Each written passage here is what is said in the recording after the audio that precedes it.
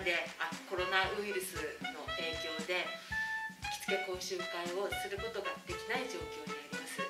であのゆり子先生にお願いいたしましてビデオを通してですが帯結びの講座を開きたいと思います。ではゆり子先生よろしくお願いいたします、はい、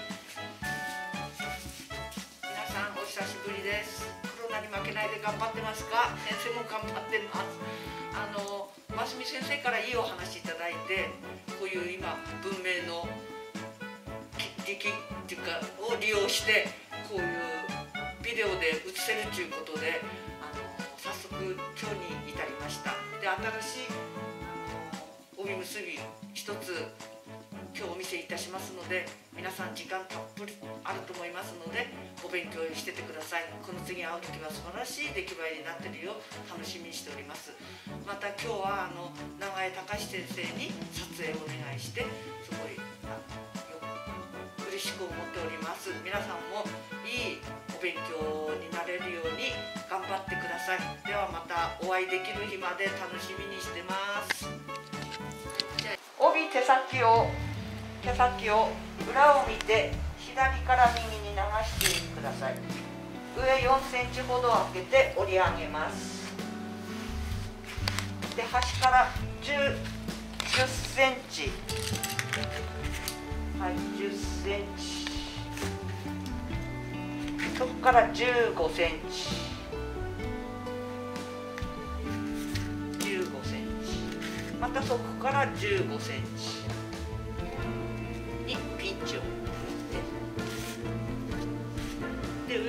上1枚を折り下げて折り上げます。重ねます。これ見ると分かるね。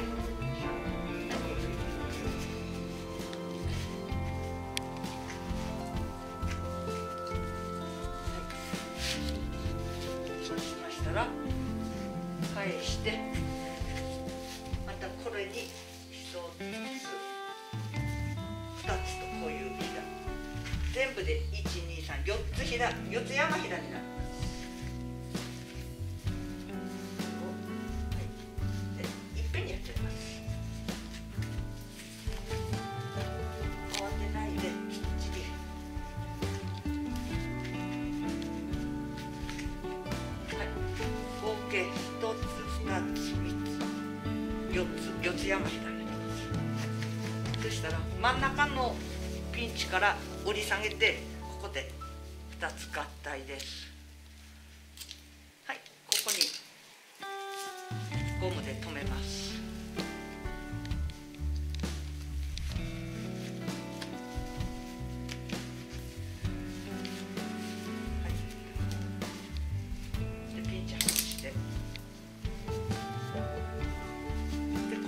イドさせます。ゆっくり抜けきらないように頑張ってきれいに。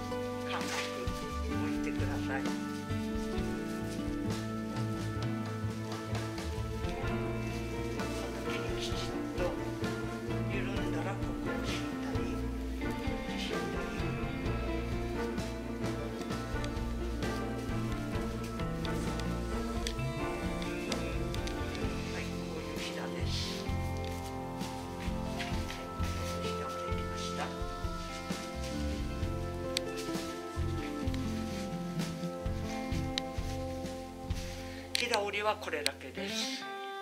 はい。そしたらあといつも教えてる通り帯をきちっと巻きやすい状態にこれこういう前準備をしっかりやってくださいね。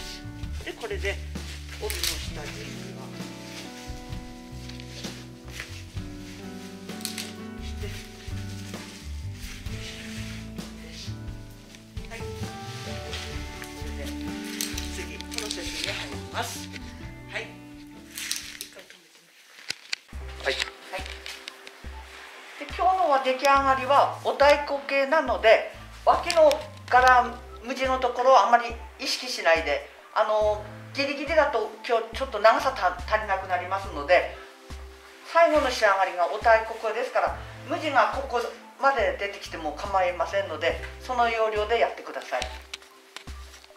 まず背中心に置いていつもの通りいつも勉強やってる通りにあれしますね。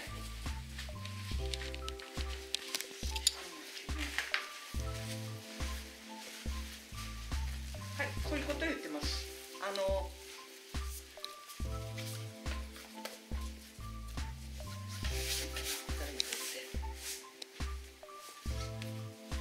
仕上がりがお太鼓系なので無地があの普通のだとここに柄止まり来なきゃいけないですけど今日はこっちまで来て長さを利用します。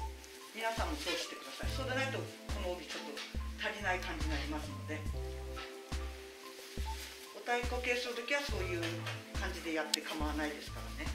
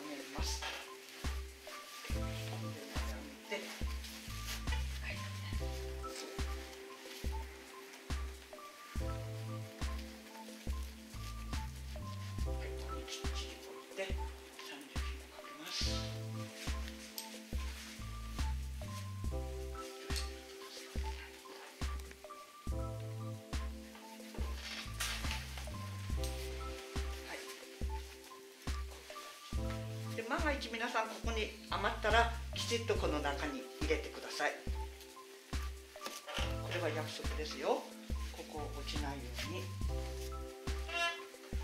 でこの補助ゴムでこれを通して押さえた方が安定しますのでなるべくでしたらあの使ってください。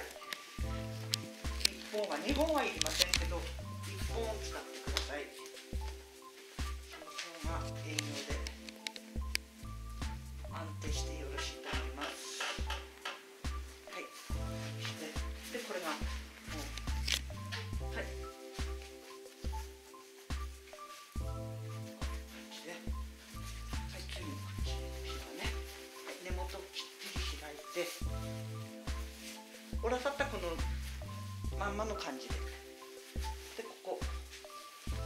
センチぐらいですね。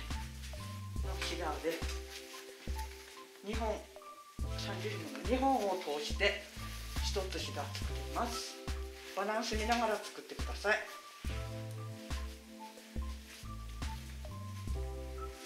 はいこういう感じ。あんまり長すぎると下後の下の方のバランスと悪いのでだいたい1 5 6センチぐらいにしといてアレンジしたい方はしてくださいね。ではい。こっちもこう折らさったこのひだのまんまなりにこっち右端もちょっとこう自然に折らされますのでそれをこういう感じで皆さん悩まないように分かりやすい帯にしました。ね、うん、でここで2つ目を作ります。でここで慌てないできちっとなんでここあんまり大きくしない方がいいかって言ったら下で今日今回はお太鼓っぽくするのであんまり上長くなるとお太鼓の意味がなくなるのでそういうふうにしましたのでそこだけ皆さんねあとこのひだはもうちょっとくちくとした方らしてもいいしあの硬い人はあの平たいひだでもよろしいですし柔らかい人はくちくちっとしてやあのできる人はそれでいいし帯の状態を見てで同寸ぐらいにしてください。同寸その方が可愛いですから。ね。ではいここで。でこの両端が折らさってここで枕がこういう感じで。そしたらその時にコツとしてはこう持って折ったのを長さに余裕ありますからここ。無地使ってますからね。ここでこういう感じで。そしてグッと上げてやるんです、はい、持ち上げます。ここでぴったり。そして三重紐に絡めてください。営業は絶対絡めてくださいよ。今絡めないですけど。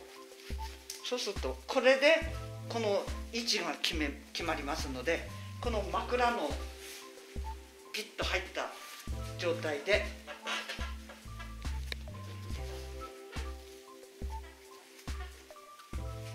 こう先生たまたまちょっとこういうボタンの留めるので使ってゴムについてるからあれですけど最後にちょっと花つけますけどそういうふうに花そこまで用意したくない人はこういうなんか可愛いボタン見つけたら取っといてそういうのに利用してください。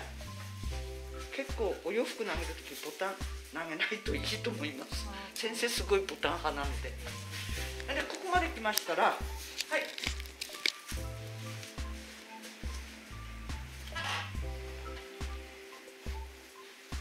帯揚げを入れときましてはいこのまま。そして今度ちょっとやりづらいのでここでちょっと止めさせてもらいますね。はい。でお太鼓部分タレ。これなんで今回タレにしただろう。あのまだ経験不足なスタッフの人ここでお箸より隠れますからここだけきれいにする。あれして。それでお勉強しててください。ね。あの経験積んでる先生方はお箸折りみんなもう上手にやれますけどまだお箸折りちょっと未熟な生徒さんはこのお太鼓系でちょっとごまかしてね。ただそのお勉強になるか。こういうふうにして。でちょうどお太鼓と同じく7 8センチをこう決めますね。そしたら今度ここでちょっとです。でこういうふうにして。こうだったらここでちょっとこう上げてって。はいここでこう三角に。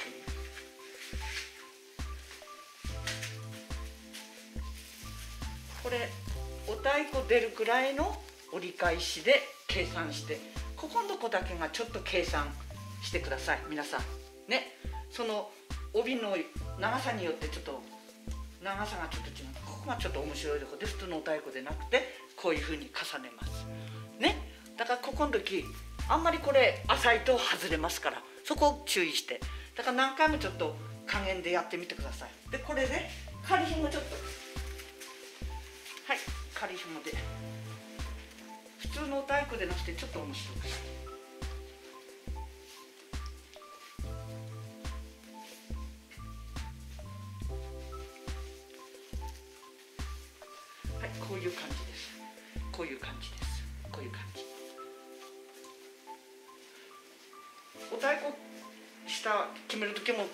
中心からお太鼓のこの真ん中をきちっと留め袖の時のお太鼓みたくきちっと測ってまっすぐにしてくださいね。かっこつけてキュッとなったりとかでなくてお嬢様のお太鼓ですからね。はいこういうふうにします、はい、たらあと落としてこのまま。でここに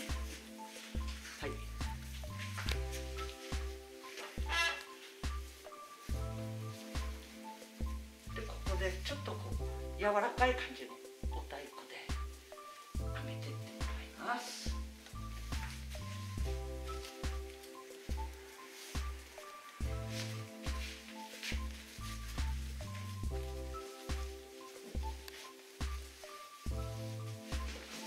こここういう感じでここ折ってますので黙っててもこの辺ぐらいこうカーブついてきますからそれがまたちょっとこれの帯の味ですのでこういうちょっと普通のお太鼓より1枚多く折ってみました。この脇のこういう見えたのは大丈夫ですから。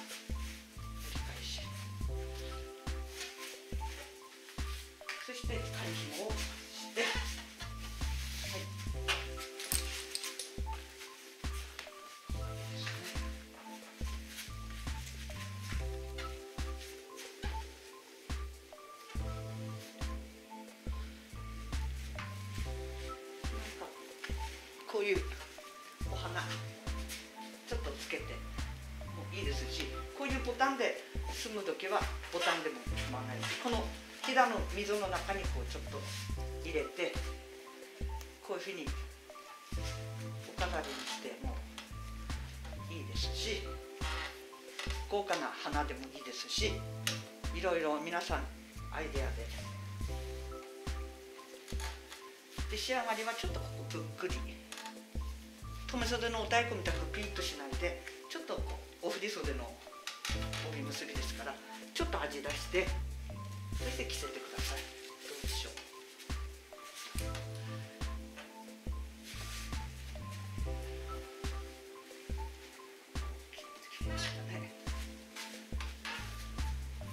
どうですか？はい。ね。見て。はい。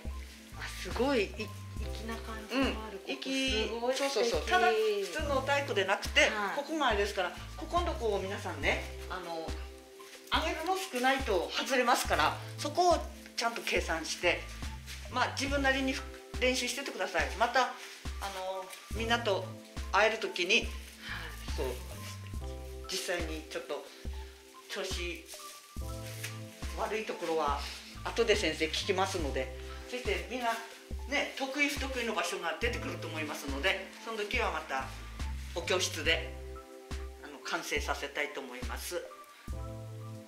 どうでしょう？可愛いですね。可愛いですね。たまにちょっとお太鼓系いいかなと思って。はい。うん新で鮮これならあのほらまだ日浅いはい。生徒さんもはい。ちょっとお箸より気にしないではい。あの仕事できるからはい。これちょっと一つ覚えておいてそうですねね。まだ入ったばっかりの方もいますけどこういう時代なのでねこれでちょっとおたいあの帯一つ覚えただけでもねいいと思いますのでこれあんまり長くしないっていうのができてみたらわかるわでしょ？ね？こういう短くてここで上げてるのと違うから、はい。あのこれ長いと全部って大きいなんちゅうの締まりのない帯になっちゃうだからせいぜいこのぐらいです。でこのひだはねもうちょっとこれあのくちゅくちゅっとやって帯の素材で書いて結構ですよだからこのひだはねちょっと単純覚えてください、はい。すごく結構役に立ちますので。ね。でこれで皆さんあの練習しててください。で着付けは長井真澄先生が着せといてくれました。どうでしょう皆様。やだやだ。ね。ご協力いただきお箸に隠れて何よりです。ね、いやでもこういう先生ね。もうなんか2人ずつ呼んでお勉強しようかなと思ったけどなんか先生もくたびれてしまったら困るのでそしたら真澄先生がこういうやり方もある。現代はいいものがあるなと思ってそれでみんなに発信できるっていうからこう今日はこういうことになりました、はい。だからこの先まだもうちょっと来月もねあの分かんないですけどね。